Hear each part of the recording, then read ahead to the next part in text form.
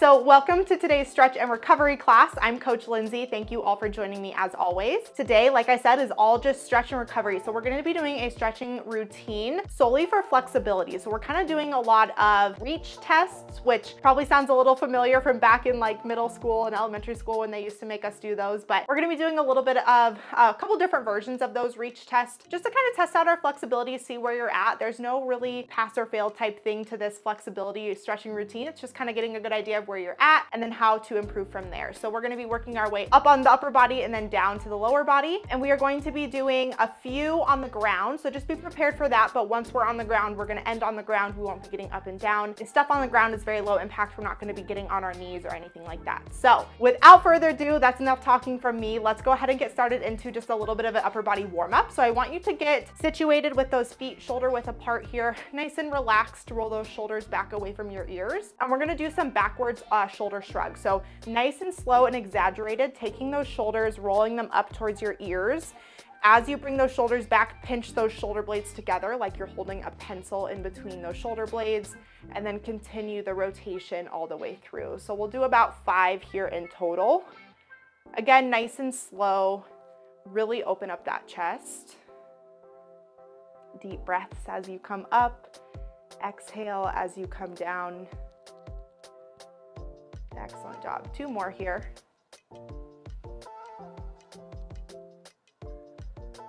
And one more.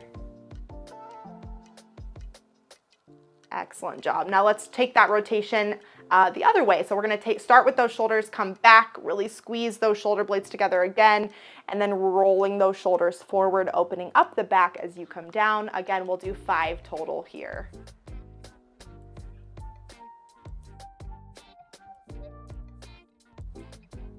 Excellent job.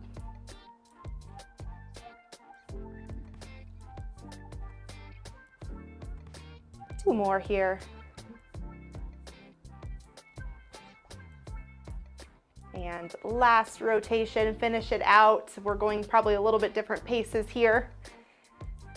Excellent. So our first upper body flexibility stretch is gonna be some chest openers with some bear hugs. So we're gonna start with our, our arms nice and wide. So palms should be facing out. And what I want you to do is really squeeze those shoulder blades, pretending like you have a pencil to pinch back there. Now the key to this is we don't wanna have that back arching when, we're, when we have these arms out. We want to keep that back nice and straight and just round those shoulders back. So keep that in mind. We wanna maintain good posture here.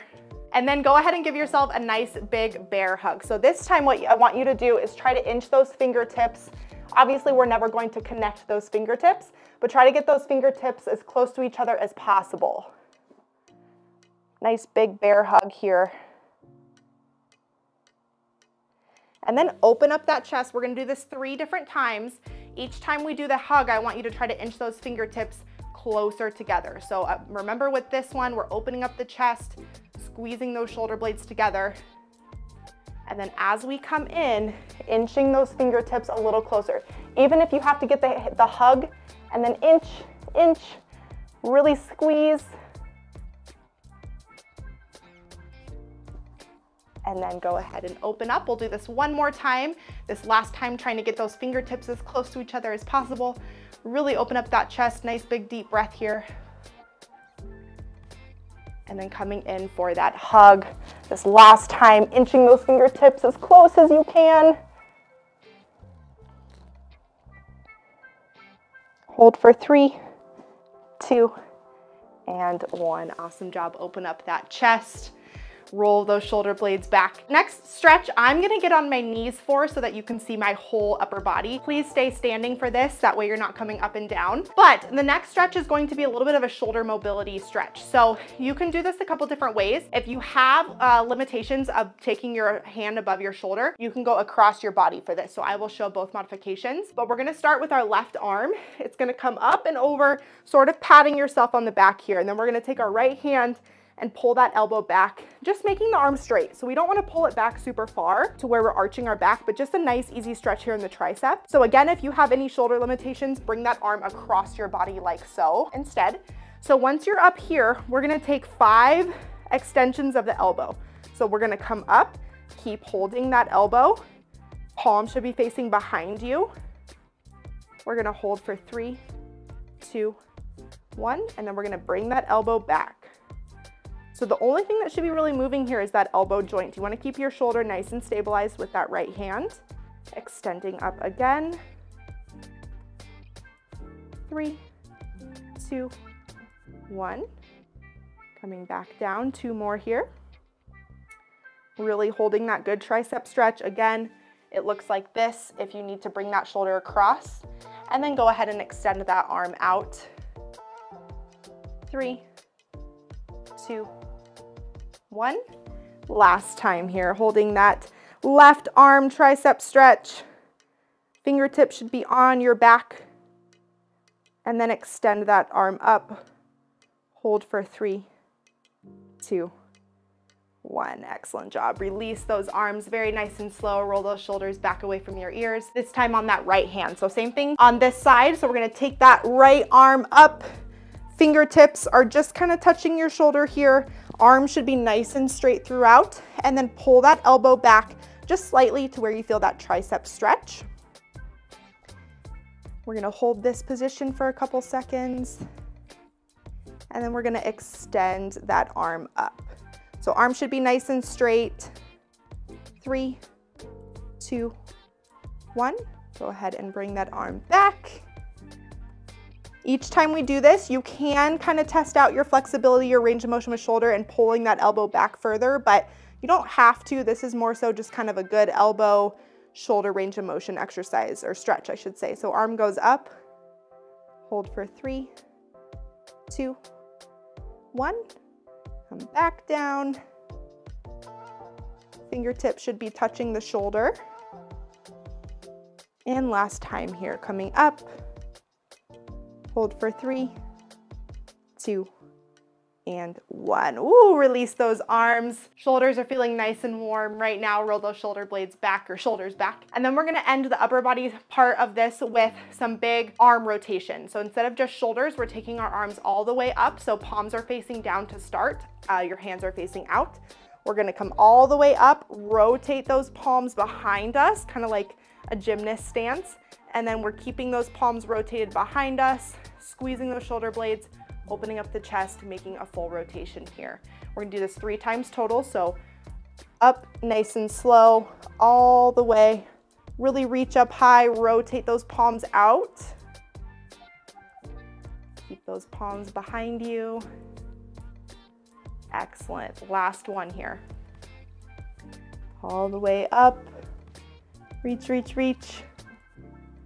Extend those hands or those palms out and then coming back down. Awesome job, Mighty Family. Roll those shoulders out.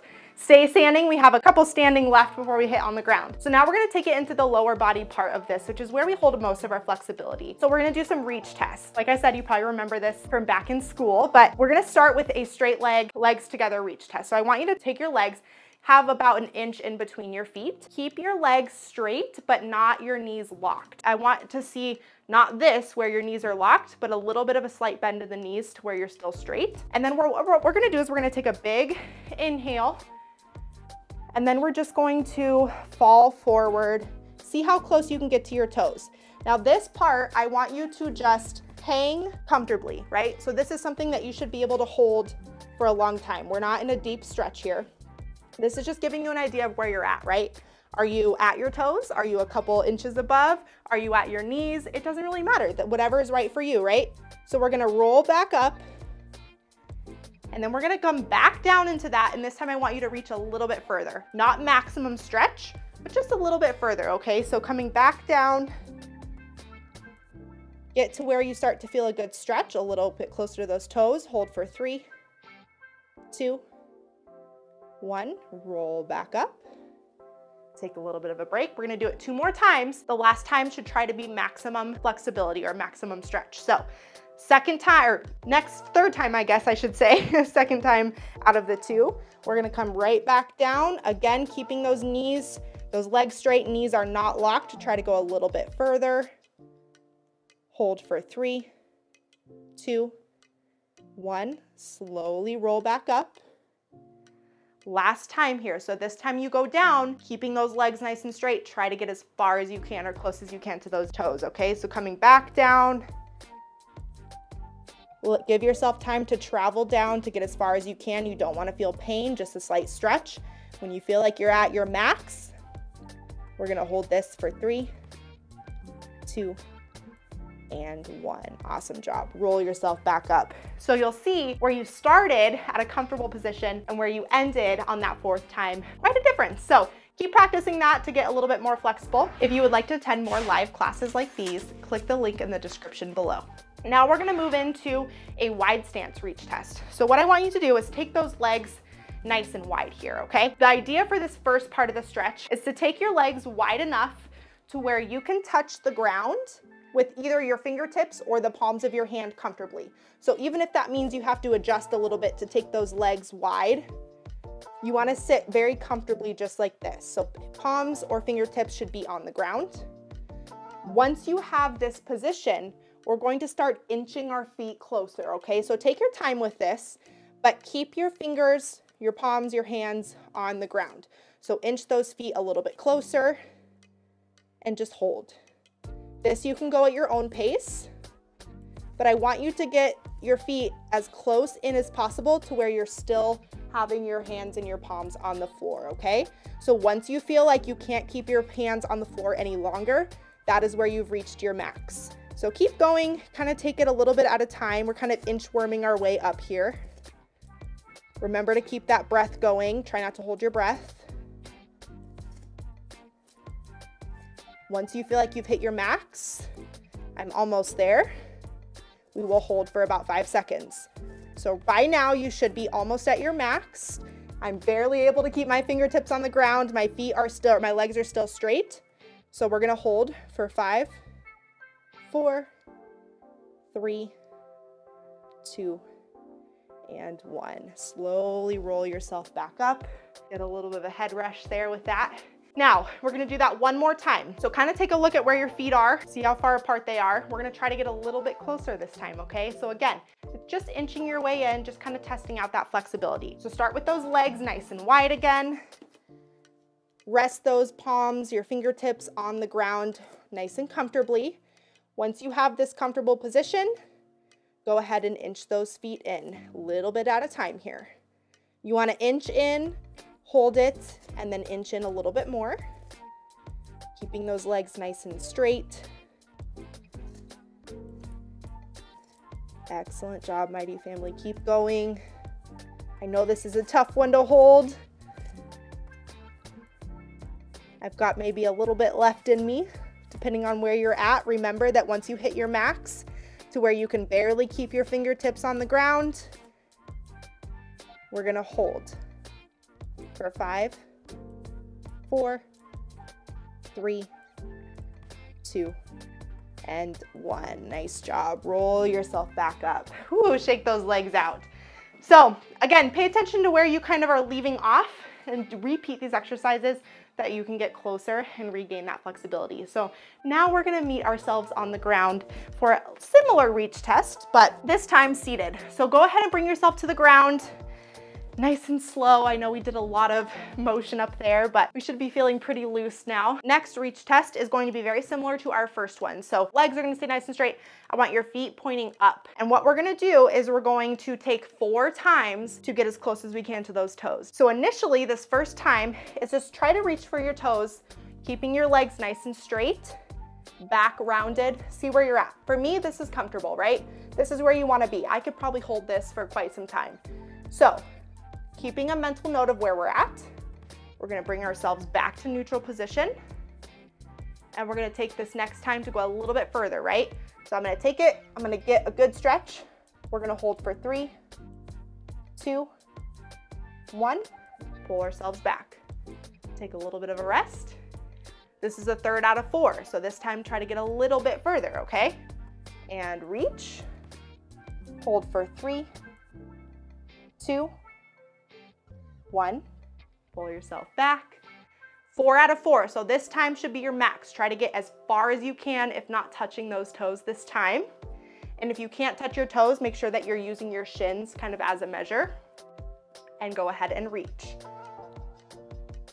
Three, two, and one. Bounce yourself back. Nice, good warmth throughout the hamstrings. But again, as you can see, we start in a nice comfortable position and we end a lot closer when you gradually build that back up, okay? So next exercise is wide leg reach test. So similar to what we did standing, but seated. So I want you to take your legs out in front of you, nice and wide. Not too wide. This doesn't have to be super crazy here. It can even be in a little bit closer just if you have range of motion with your hip. And what we're gonna do is we're to try to inch our fingers as far away from us as we can, okay? So to start, just the initial test, we're gonna take, we're gonna just place our palms on the ground.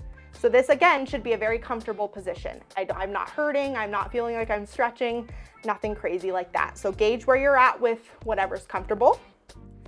Bounce yourself back, take a little bit of rest. We'll do this four times as well. So that was number one. Number two, we're gonna inch those fingertips a little bit closer. So your distance can look different than mine, right? You can inch a little bit, you can try to get uh, some good gain. It kind of depends, but once you've got a little bit further, we're gonna hold for three, two, one.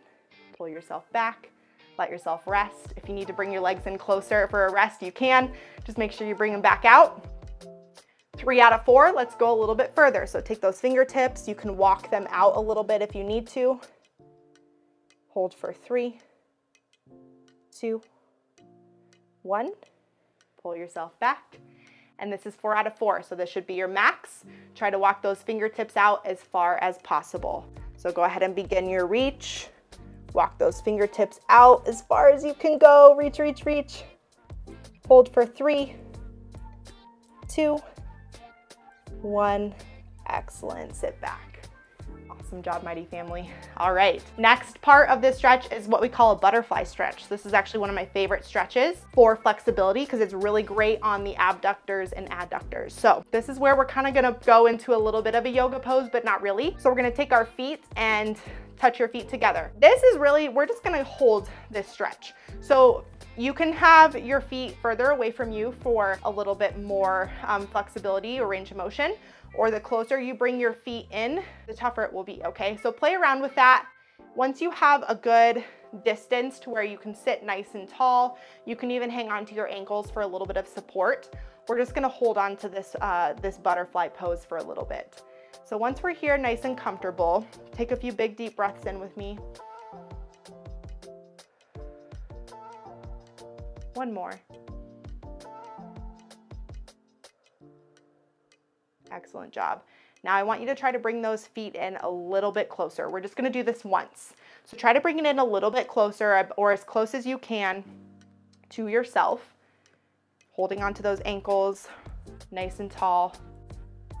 Once you have this, we'll hold for three, two, and one. Go ahead and release that butterfly pose. That's a nice kind of intermingled stretch in between all these crazy ones that we're doing. So last two exercises are gonna be on our back. So we're gonna go ahead and switch to the side here again. Go all the way on your back to where you're nice and straight here. We're gonna test a little bit of hamstring flexibility here. I'm gonna start with my left leg. What I'm gonna do is I'm gonna take my leg all the way up to where my right leg is straight and on the ground. My left leg is nice and straight as well. We're gonna grip behind the knee and pull hard towards our chest just until you feel a good stretch. So you don't have to have a lot of range of motion here. We just want both legs to be nice and straight. So go ahead and hold this for five, four, three, two, and one. Go ahead and release. We're gonna do that one more time. This time, try to inch it a little bit further. That part of your hip joint doesn't have a ton of flexibility, so we don't have to do it four times. That would probably be a, a really painful, so we're just doing it one more time. This time trying to get that knee as close as you can to your face while keeping the legs nice and straight.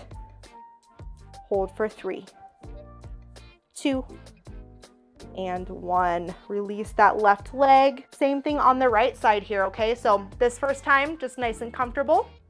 Taking that right leg up, gripping behind the knee. Both legs are staying nice and straight. Left leg should stay on the ground.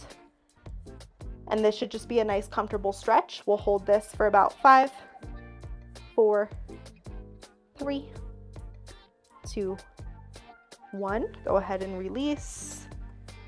Relax those legs. Second and last time around, bringing that right leg as close as you can to your face. So bringing that right leg up, that knee, I guess I should say, close to your face. Pull a little bit closer. Hold for three, two, and one. Mighty family, release that leg.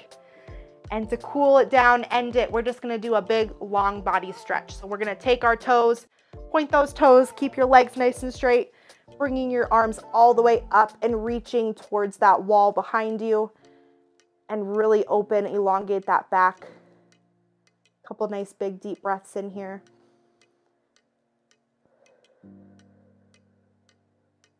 With each breath, try to reach a little bit further to that wall behind you. Last breath here. And relax that body. You can keep laying down you can sit up, whatever you wanna do, take a nap, totally up to you. But that ends our flexibility session for today. I hope you enjoyed it. Keep doing a lot of the workouts that we did or the stretches that we did to increase your flexibility. And I will see you all back here next time. Have a great day.